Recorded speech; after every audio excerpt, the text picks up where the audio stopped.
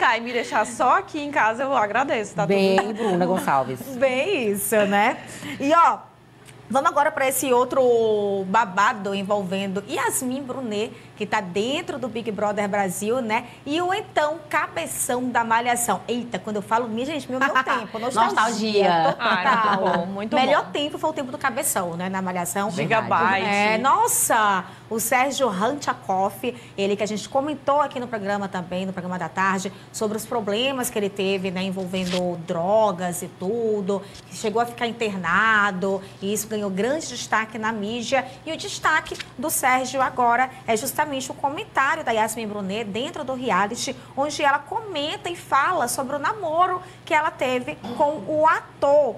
E o Sérgio, depois desse pronunciamento da Yasmin, acabou também se pronunciando, né, isso, meninas? É isso mesmo, viu, gente? O Sérgio abriu o jogo sobre o romance, né, que ele viveu com a Yasmin Brunet há alguns anos, minha gente. A informação foi revelada pela própria Yasmin no BBB 24. No Instagram, o ator se mostrou muito contente com a forma como o namoro foi tratado pela loira. Ai, fofo! Retribuindo, claro, todo o carinho, o Sérgio rasgou elogios a Yasmin. Ele disse assim: olha, gente, mas que honra ser citado pela Yasmin no BBB 24, né? E o Rodriguinho lembrou do meu sobrenome certinho. Obrigada! Inclusive, ele agradeceu pelo Rodriguinho ter chamado ele de fofo. E ainda disse assim: olha, é, você, além de linda, também foi muito fofa comigo. E também aquele seu impulso de querer me ter como seu crush, o Eminem Made in Brasil, também despertou em mim um platonismo de admiração que alimento até hoje com louvor e guardo com carinho memórias que me ensinaram sobre o afeto ternura e aconchego do sagrado feminino. Olha que linda, gente. Guardo com carinho lembranças de palavras suas que me motivam hoje e sempre. Acreditei em tudo. Eu sempre lembro. Gente, esse é o retrato de um relacionamento que terminou muito bem, viu? Afinal de contas, a gente está falando do eterno cabeção da malhação. E algo bem interessante que ele falou, que revelou pra gente, é que, na verdade, a Yasmin, confessou inclusive isso dentro do BBB, começou a se relacionar com ele por achar ele muito parecido com o Eminem, que era o seu crush da época. Olha só, Não, eu ri, eu ri tanto quando eu vi isso, porque eu achei assim, nada a ver com nada. Eu não achei ele parecido com o Eminem também, uma não. comparação. É, não mesmo. Bota aí a comparação, Né? Bota aí, vamos fazer, porque- É, mas vocês sabiam desse, desse relacionamento? Não, então não sabia. Eu, eu fiquei sabendo à medida que a Yasmin contou também. Não, só também. agora, Só né? agora. Ninguém sabia Só agora. antes, também não Ninguém sabia. E a foto dos dois, bem jovenzinhos, você viu? é, a foto vi. dos dois. Bem fofinhos, muito Bem lindinhos, fofinhos, né? Olha, Olha aí, que bonitinhos os dois. Eu também não sabia. Super Olha combina, né? Eles dois. Menina, mas Yasmin mesmo, modelo, modelérrimo, Não é, arrasou. menina? Bem magrinha. Arrasou.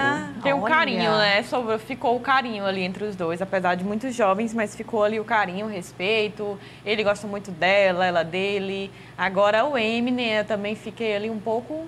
Pode ser que ele parecesse ali, né? na- Quando ele era adolescente. Nós vamos já trazer essa montagem para vocês se dizerem se parece realmente ou não, né? Eu, sinceramente, acho que tem nada a ver Não achei com muito nada. parecido também, não. Su, concordo né? com você, viu? Nada a ver. E assim, eles namoraram bem rec- há muito tempo atrás, Muito né? ainda tempo. eram muito jovens. Então, maturidade é isso. Passaram. E ela vai lembrar isso agora no Ah, Big é, Brother, né? Depois de legal, muito né? tempo. Ficou um carinho, né, gente? E assim, a Yasmin parece ser, né, assim, pelo menos dos relacionamentos que ela já esteve, eu acho que o único que ela não tem uma ligação tão forte é com o Gabriel Medina, que foi Sim. casado com ela. Porque a Yasmin, por exemplo, se envolveu com o MC Daniel, né? Ele também tem um carinho muito grande por É ela. verdade. Então eu acho que ela tem esse perfil mesmo de estar, quando sair dos relacionamentos, ela manter aí essa amizade, essa paz com o seu ex. Eu acho bem válido. Acho que, assim, ela é uma menina muito bacana. Eu acredito Também que acho. é muito Eu acho que é o que pesou na do Medina foi a mãe, né? Que teve toda Isso, a toda a treta com a familiar. mãe. Olha aí a comparação. Parece, gente.